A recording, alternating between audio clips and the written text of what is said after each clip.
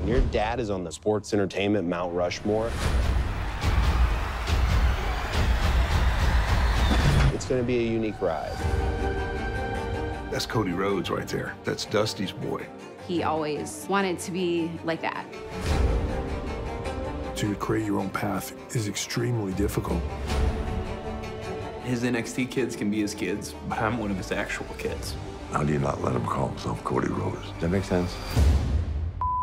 Maddening. I knew I had to get out. If you build it, they will come. Vince McMahon flew to his house to get him back. I don't know how many people can say they did that. A fresh start for the American Nightmare. Get a dream, hold on to it, and shoot for the sky. This is my one request. I don't want edited in any capacity. Don't even edit this part.